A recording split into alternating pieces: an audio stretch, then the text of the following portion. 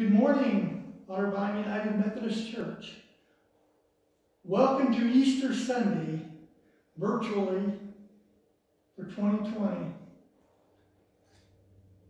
Now, I'm sure many of you are wondering, like, that's not Pastor Donna. Well, that's very true. I'm her husband, Ken. But unfortunately, Pastor Donna earlier in the week was not feeling well and is only in the last day or so started to feel better. So the Lord placed it upon my heart to do the service, um, to preach a message. So, so I just didn't want to miss an Easter. Didn't want the church to miss an Easter. So um, I believe the Lord placed the message on my heart. I pray that you'll accept it and that everything will go well this morning. Um, Pastor Donna is still here with us. She is running the my phone, the video part of the phone, and when it comes to the singing part, Pastor Donna will be doing the singing. So, welcome. We're glad that you're here this morning. Um, as far as announcements, we really only have one announcement. Go to the next. Prayer partners. Hopefully, this, during this time, you've been able to spend a good amount of time in prayer for your prayer partner, those that we selected during this time. But now, Easter, uh, today is Easter Sunday. We know that people would like to know who's been praying for me.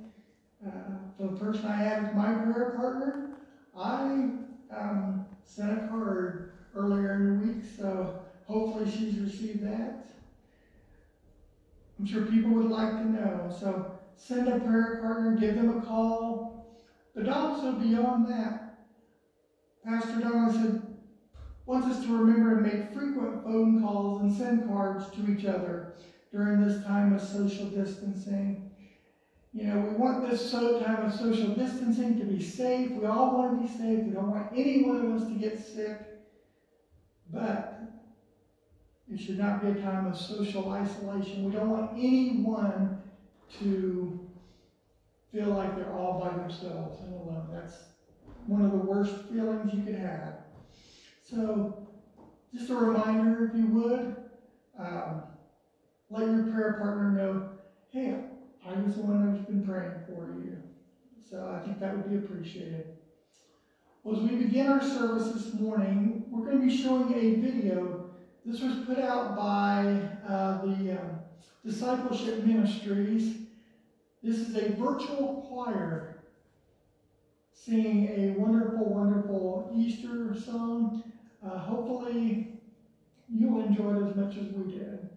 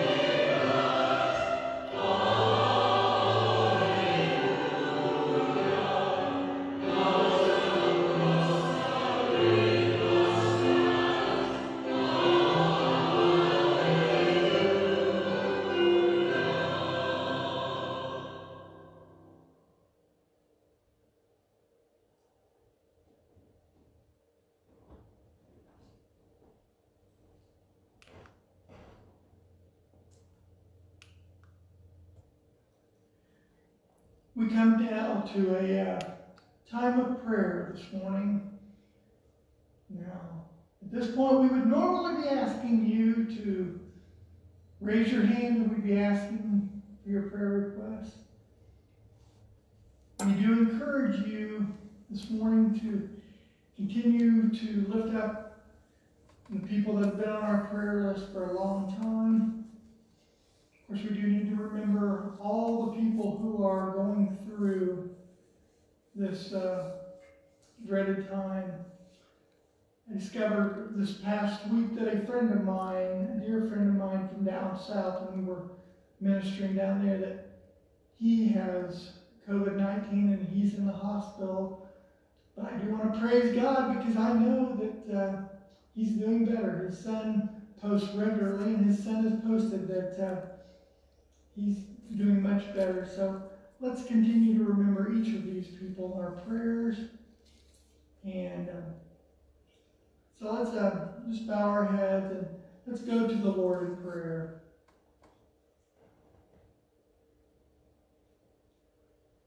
Precious Heavenly Father, we look to you this morning, this glorious Easter morning. First, Father, we want to thank you and praise you, O Lord, for your love and for what you did for us, Lord. For Lord, it was because of you, Lord, that we are can be saved.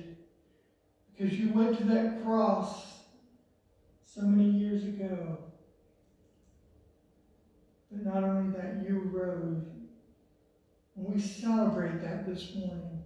We celebrate, Lord, this newness of life and the newness, Lord, that you provide for each of us. Father, we lift up to you, Lord, those in our congregation. Lord, I pray for those in our congregation, Lord, who are in nursing homes or in the hospital, Lord, because right now they are totally isolated. They're, they can't have visitors. Yeah, they're not uh, able to even see family members. Lord, we just pray that you just uh, visit with them let them know your presence is with them, that they are never alone. Father, just lift up to you, Lord, those who uh, in our congregation, Lord, who may be feeling sick today. Those who are under the weather, Lord, we just ask God for your healing touch upon them. Father, we pray for any in our congregation who may be grieving, Lord. Maybe they've lost a loved one recently. We just pray that your spirit would just comfort them, be with them, encourage them, I pray. And Father, more than this, Lord, we not only pray for our congregation, we pray for this country and this world, Lord, as we endure this pandemic, Lord, this dreaded, dreaded pandemic that we're all going through. I know during this time, Lord, many are feeling scared. Many are feeling very um, just uncertain of what's going on.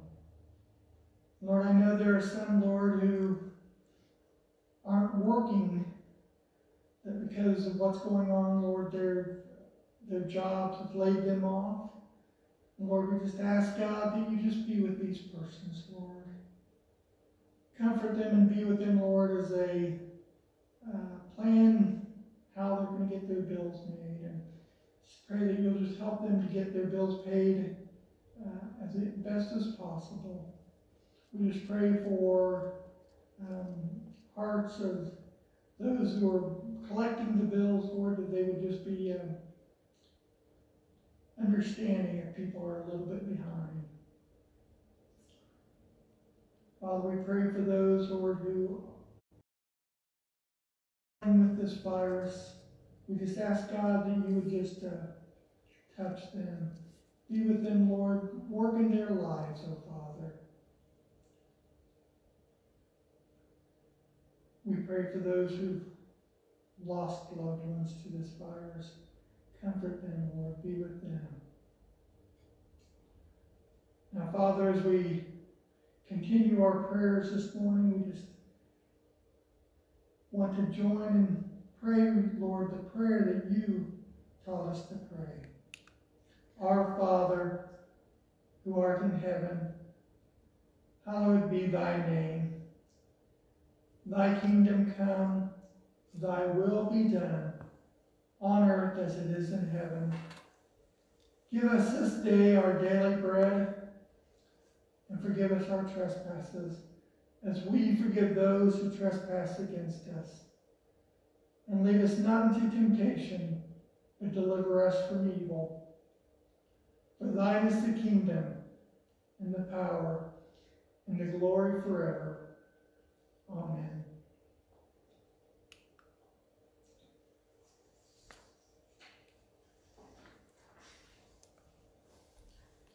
Now it's our time of offering now.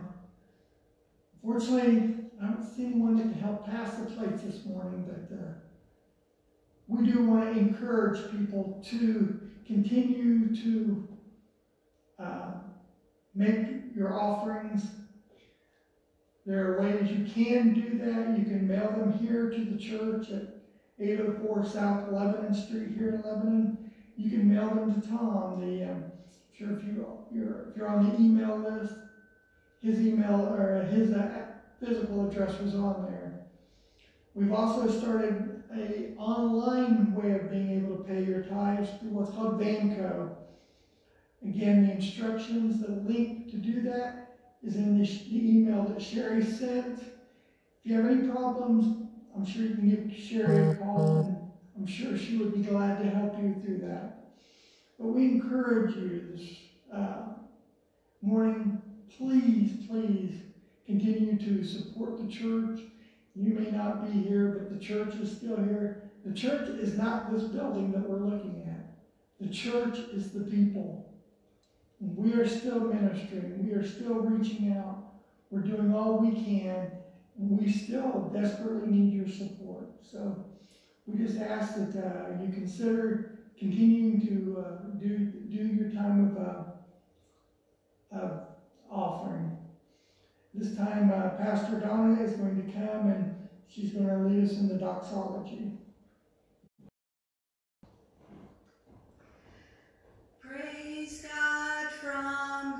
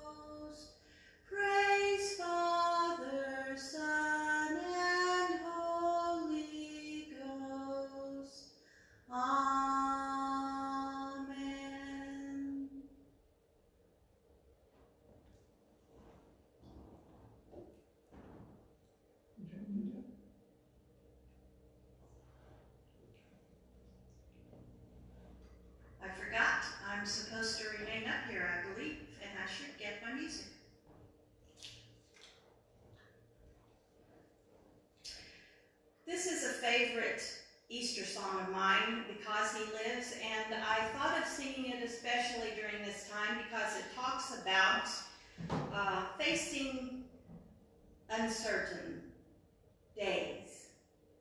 Facing uncertain days. And I also wanted to sing it because it also talks about God holding the future. Now, what does God holding the future mean for me? That means to me that God is here with me now, and as I move through the into the future, God is going to be with me then. And even though I may die, as the scripture says, yet I will live.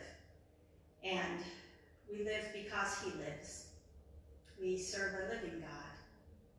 And I will invite you, because I am not the greatest of singers. If you know this song, just drown me out right there where you are at home. So we will attempt to sing the song Because He Lives, because He does live. Song how you start. God sent His Son, they called Him Jesus.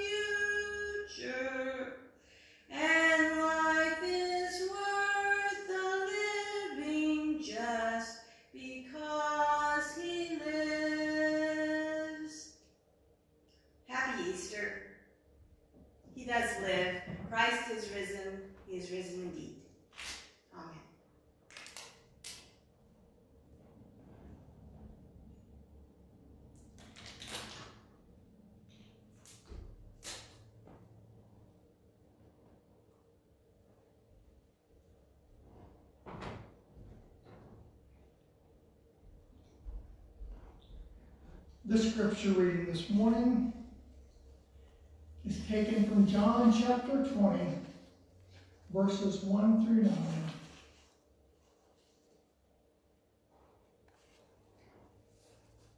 And I'm going to be reading it from the New International Version. Early on the first day of the week, while it was still uh, dark, excuse me, Mary Magdalene went to the tomb and saw that the stone had been removed from the entrance. So she came running to Simon Peter and the other disciple, the one Jesus loved, and said, They have taken the Lord out of the tomb, and we don't know where they have put him. So Peter and the other disciple started for the tomb. Both were running, but the other disciple outran Peter and reached the tomb first. He bent over and looked at the strips of cloth of linen lying there, but did not go in. Then Simon Peter came along behind him and went straight into the tomb. He saw the strips of linen lying there, as well as the cloth that had been wrapped around Jesus' head. The cloth was still lying in its place, separate from the linen. Finally, the other disciple, who had reached the tomb first, also went inside. He saw and believed. They still did not understand from Scripture that Jesus had to rise from the dead. The Word of God for the people of God. Thanks be to God. Let's go to the Lord in prayer. Precious Heavenly Father, Lord, I come to you now and I just ask God that uh, you just fill me with your anointing. Lord, let the words of my mouth and the meditation of my heart be pleasing to you. Let me share what you would have for the people today. Let me be led by your Spirit. And let it be something that touches the heart of those that are listening. It's in Jesus' precious name I pray. Amen.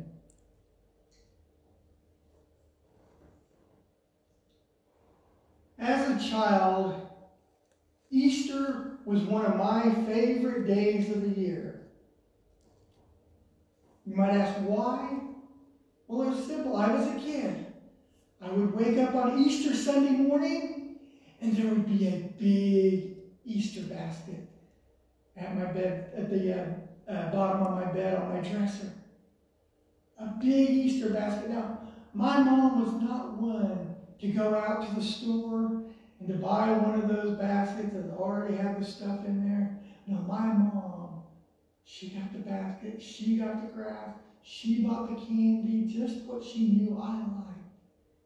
And always, a big part of the centerpiece of that was a big chocolate Easter bunny. Now, why was that day so special besides the fact it was candy? It was special because it made me feel special. My mom had thought about me. She knew what kind of candies I like. She knew I loved those little robin eggs, those ones that I love to just let those dissolve in my mouth. She knew I loved those, and so she made sure I had plenty of those. She made me feel special. Now, another person that I probably could talk about that probably felt like he was special was the Apostle Peter. And he was special, but maybe not for the reasons he initially thought.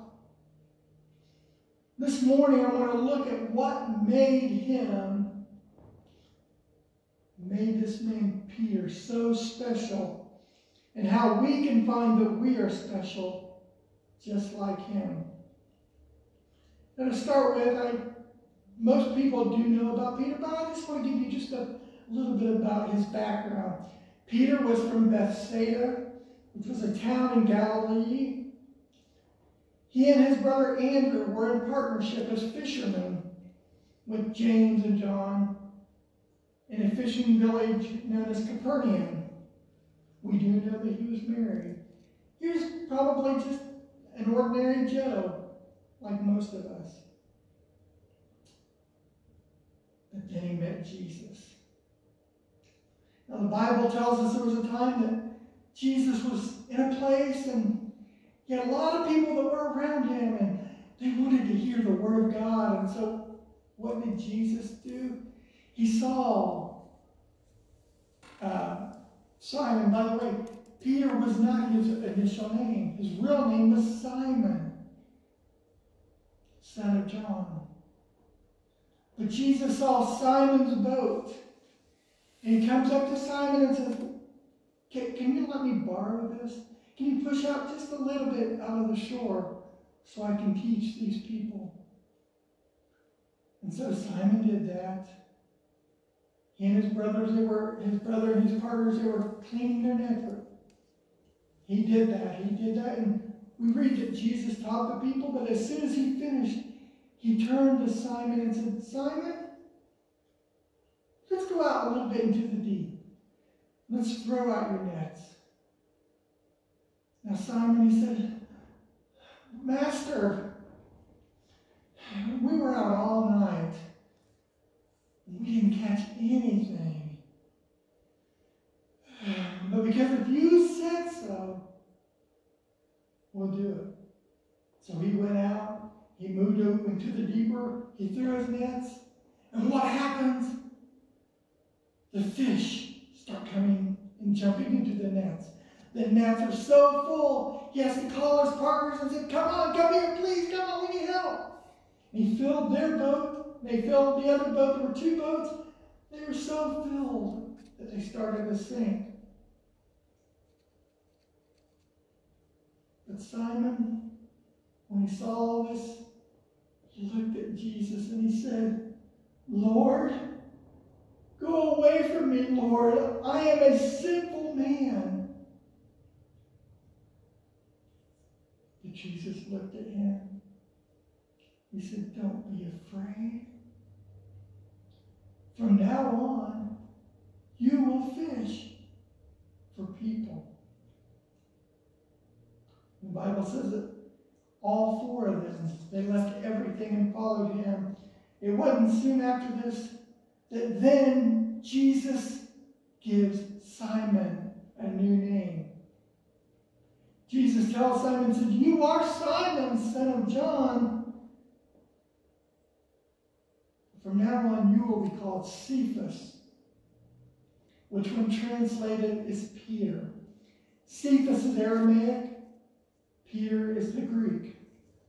What these, both of these words mean, what both of these names mean, is rock, steady. Peter began to feel special.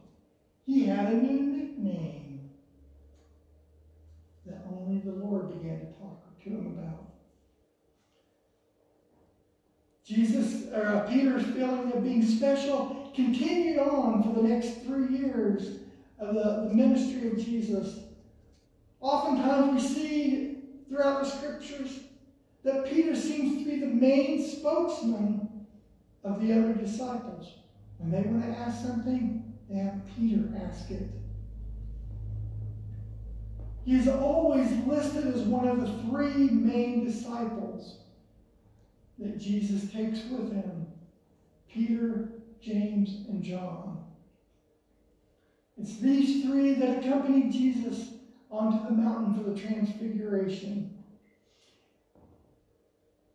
Peter also had some special time on his own. it was a time that the, the, the waves were rocky, and Jesus comes and walks to them on the water. And they get afraid because first they think it's a ghost. They said, It ah, I is Jesus. Peter says, Lord, if it's you, bid me to come out on the water. And Peter comes and he walks on the water with them. Jesus, or Peter, felt special. There's also the time when Peter answers Jesus' question. Jesus had asked his disciples, Who do people say that I am? And the disciples answered, Well, some say John the Baptist, some say Elijah or Jeremiah or one of the prophets. But then Jesus asked them, But who do you say I am? It was Peter that said, You are the Messiah, the Son of the living God. At this, Jesus turned to him and replied to him, You are Peter, and on this rock I will build my church, and the gates of hell will not overcome it. I'm sure by now Peter is pretty, pretty special. Pretty special. Then there was the last week of Jesus' life. There was the triumphal entry. We'd have been here, what we didn't get to celebrate last week was what we call Palm Sunday, where Jesus comes into Jerusalem. And the people are lining it, and they're waving palm branches and singing, Hosanna! Blessed is the one who comes in the name of the Lord. Blessed is the King who comes in the name of the Lord. Sure, Peter felt really special. He was in the in crowd. He was one of them. He was part of the entourage of Jesus, the King. But sadly, things are about to change for Peter. During the Passover meal, things begin to become a little bit serious. When Jesus uh, started talking and he announced that one of them, one of his twelve, would betray him. Now says, Is it me? Is it me? Is it me? But then he said, Not only will one of you betray me, all of you will leave me. All of you will desert me. Now again, it's Peter that stands up and says, Lord, the Lord, though all may leave you, I never will.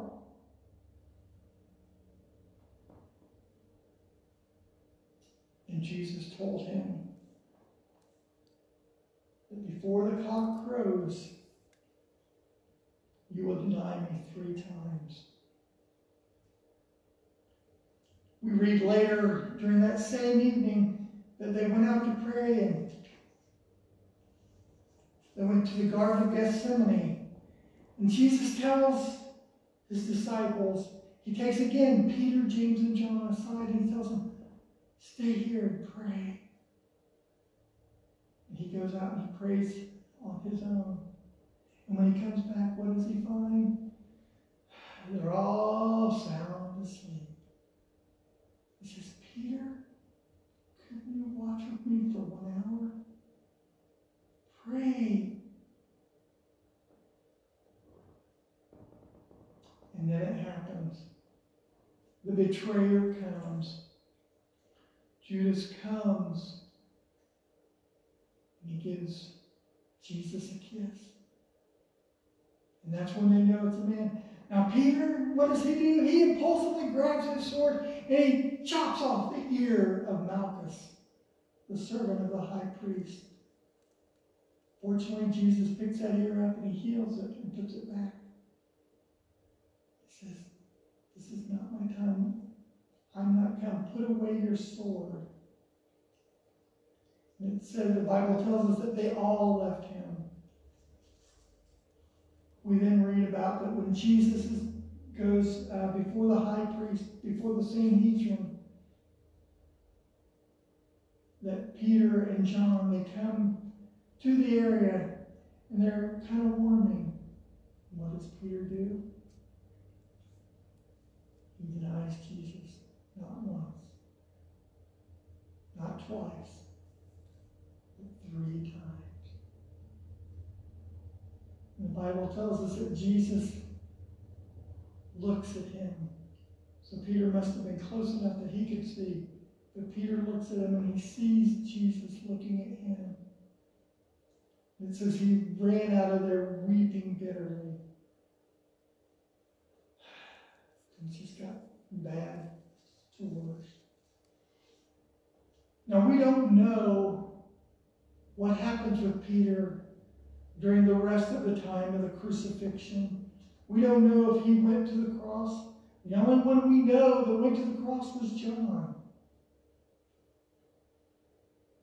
But I'm sure that Peter, wherever he was, he was in despair. Was I right? Was he the Messiah? Was he the Son of the living God? He might have been doubting. Sure, he felt guilty because he loved Jesus. But then it comes to the point of our scripture this morning where the women went to the tomb on Easter morning, what we call Easter morning, that first day of the week, and they find that he's not there. He goes and they go tell the disciples, and as the scripture said this morning, John and Peter, they run to the tomb, and even though John gets there first, Peter's the one that goes in there. Where are you, Jesus? Where are you? And all he sees are the linens. It wasn't until later that evening that Jesus appears to them. And finally they understand that Jesus had risen from the dead for them. It was just a little bit later on that we read about, again, uh, just one more story with Peter where he decided to go back fishing. And it says that while they were fishing, he and some of the disciples, that they again got a boatload of fish. But then they saw someone on the beach.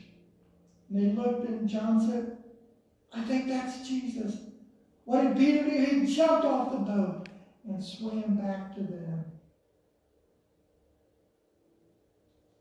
And while they're eating, Peter and Jesus have this conversation. Peter, do you love me? He says, Lord, you know I love you. Feed my sheep. And I think it's interesting as we look at this that we see that Peter is asked this three times. It's just like he denied him three times. Jesus is restoring him. Peter began to feel special again. Do you feel special? Who have you disappointed? Where have you failed? Do you believe that someone thinks that you're special? Do you think you're special because of what you've done in life? Are we special? Are we special in God's eye like Peter was? Sometimes we may look around and feel like we're not so special, but we are. If we're so special, why is there so much disease and death happening? Oftentimes, we don't feel special because we're scared. I think our situation, if you look at what's been going on the last few months, who would have thought back in January and February when things were seeming to go just like normal? Here we would be on Easter Sunday, and I would be preaching to a telephone, smartphone, instead of a congregation.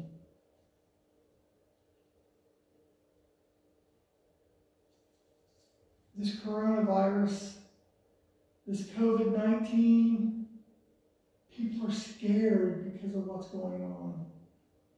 I believe it can be rightly so. This morning I saw that there are over half a million cases of people with COVID 19. Over a half million just in the United States. And also here in the United States, in just a small amount of time, a few weeks that it's been on, there have been over 20,000 deaths. That's scary. We experienced that personally within the last week. Last Friday night, a week ago Friday, Donna started feeling kind of sick. She had a sore throat. She was feeling very fatigued. She had a temperature. She just did not feel well. It's because of that that, that she canceled services last Sunday because she just did not feel like being able to do anything. On Monday, she called her doctor, and the doctor said, Well, because of your symptom, because of the medication that you're on, I think you qualify to be tested. And Monday was the first day they allowed for these people to be tested through IUL. So Tuesday morning, we went and she was tested. I'm happy to say Wednesday morning, we got the news her results were negative. She did not have the COVID 19. But we were scared. We were scared about what if. We read and hear about all these people who seemingly have been in good health. But suddenly they're gone very quickly.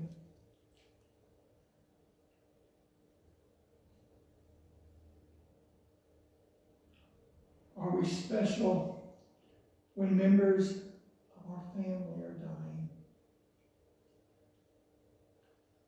But you see, what made Peter special wasn't because Jesus gave him a new name. It wasn't because of the things he did or what he did or things that all that we read about in the book of Acts that he did after this. What made Peter special was because God loved him. And that Jesus loved him so much that he went to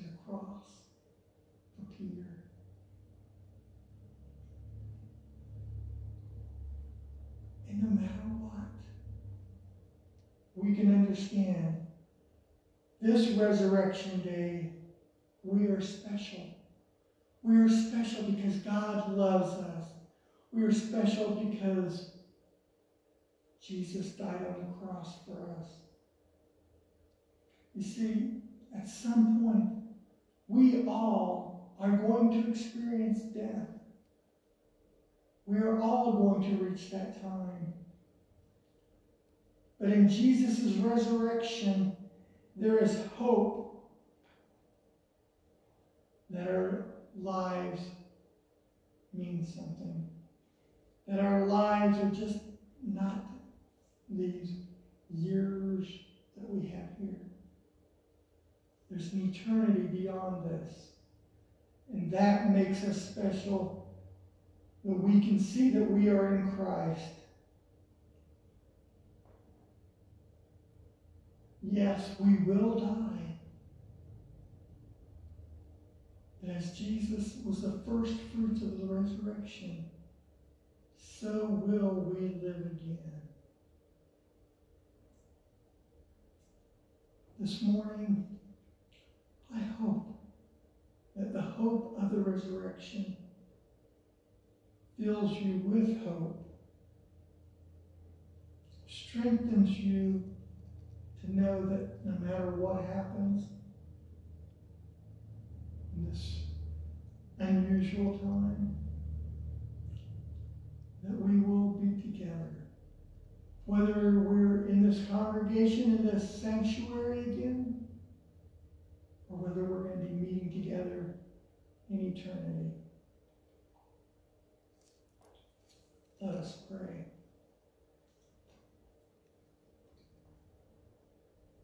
Precious Heavenly Father, we do thank you this morning for all that you're doing and all that you've done in our lives. We thank you that you went to the cross. It saddened us that you had to suffer, but it encourages us that you did it willingly, and you do it again for each one of us. Lord, as we look at this message of Easter, Lord, help us to know that we don't need to be scared about what's going on, that you are with us. Thank you, dear Father. It's in Jesus' name we pray. Amen. Now, in a minute, Donna will be um, coming to uh, sing a final verse, and uh, she will be closing us in a benediction. Donna just gave us a view of the back of the sanctuary. Okay. Okay. but we will uh, sing God Be With You till we meet again. Um, but anyway, we do want to thank you, and uh, hopefully next Sunday, Donna, Pastor Donna, will be back and sharing the word. Um, she's planning on hopefully in the next few days, now that she's feeling better, to possibly uh, deliver a few more of the directories. She's got some other things she, she's talked about wanting to do. But we do appreciate you. We miss you so much. Uh, on behalf of Donna and I, we, we want to let you know we love you. We reach out and give you a virtual hug because we can't do it live. And we anxiously await that time when we can be together again. If we can all meet together in this sanctuary. God bless you. Pastor Donna.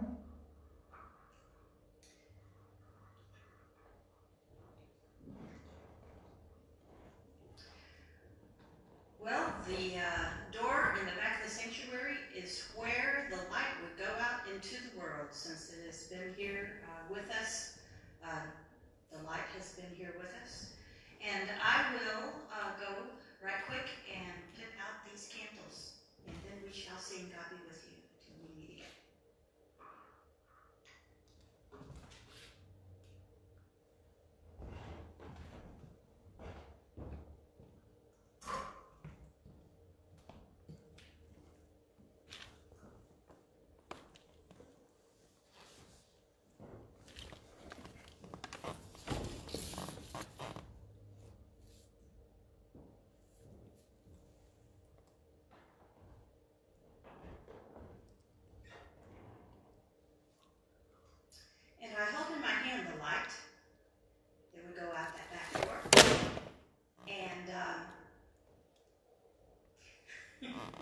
And now sing uh, God